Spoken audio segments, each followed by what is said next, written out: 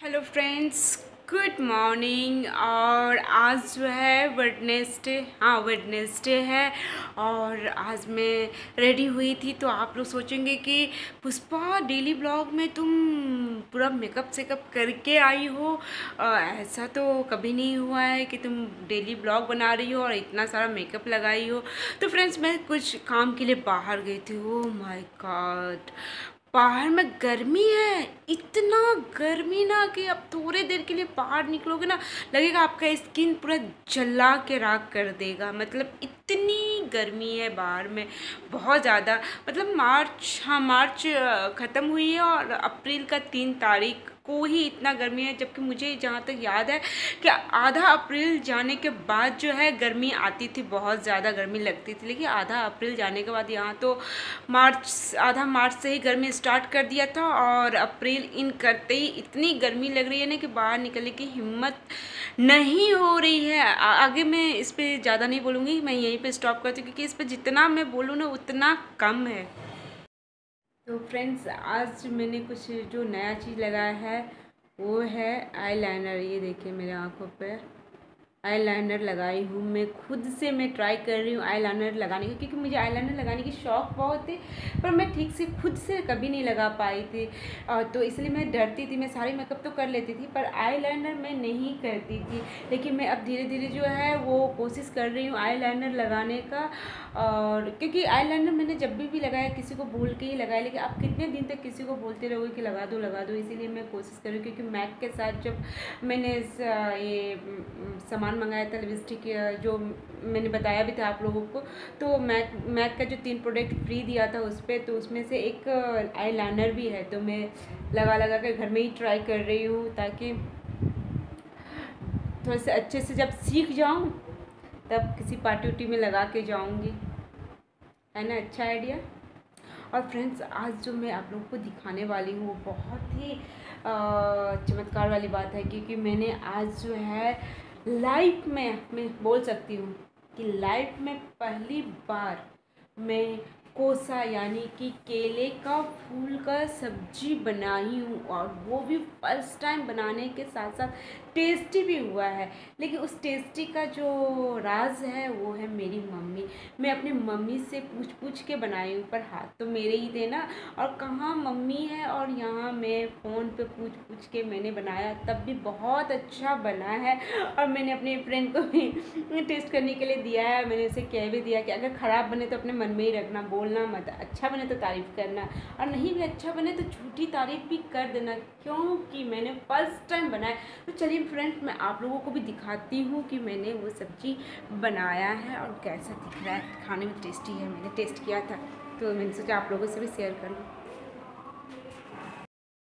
ये है वो सब्ज़ी जो मैंने बनाया है और सच बोलिए मैं झूठी तारीफ़ अपनी नहीं कर रही हूँ।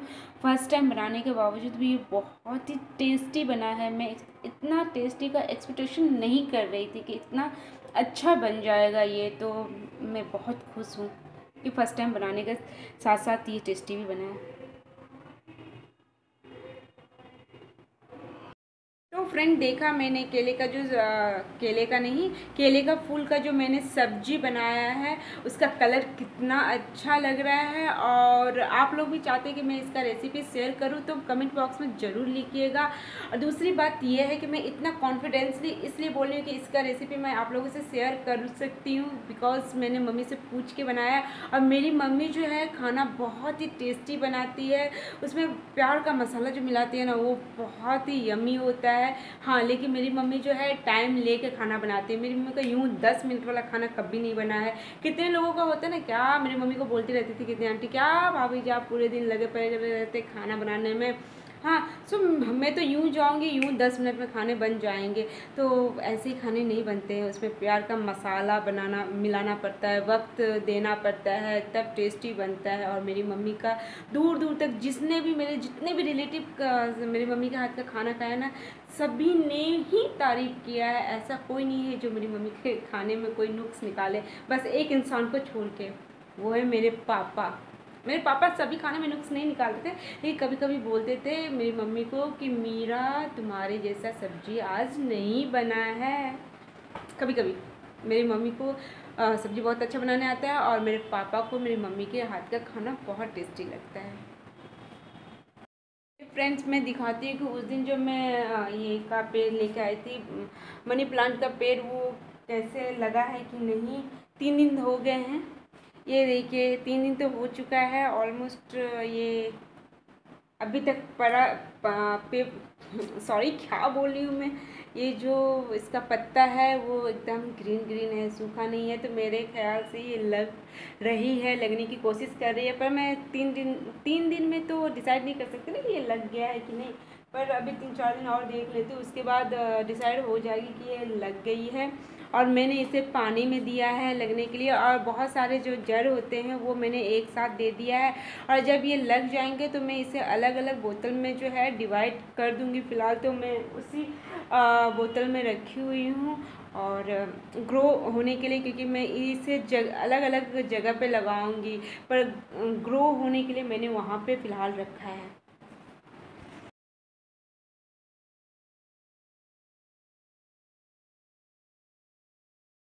एक बात जो मैं बताना भूल गई वो मैं बता रही हूँ कि वो जो केले का फूल है, उसकी खासियत ये है कि वो मेरे बागान के केले का फूल है मेरे बागान में, जो केले का पेड़ लगा हुआ है, मेरे बहुत सारे ब्लॉग में दिखाई हूँ तो उसमें केला फला है तो कहते हैं ना कि जब केला ग्रोथ हो जाए तो उसमें जो फूल लगता है, उसे काट के हटा देना चाहिए। तो केले की जितनी ग्रोथ होनी चाहिए थी, वो हो चुकी है तो मैंने उसका फूल को तोड़ दिया, और मुझे याद आया कि जब हम लोग सिलीगुड़ी में रहते थे, तब मेरी मम्मी जो है केले के फूल का सब्ज़ी बनाती थी, क्योंकि ये बंगाल में ज़्यादातर मिलता है, इधर मैं फूल उल उतना देखती नहीं, बिकता होगा लेकिन मार्केट में मैं उतना देख, देखती नहीं हूँ।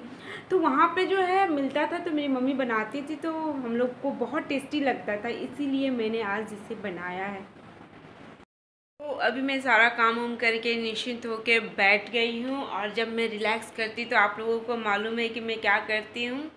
कॉफ़ी, मैं कॉफ़ी पीती हूँ तो मैं अभी जस्ट पीऊँगी कॉफ़ी और कॉफ़ी पीने के बाद जो है, मैं आप लोगों से बातें करती हूँ।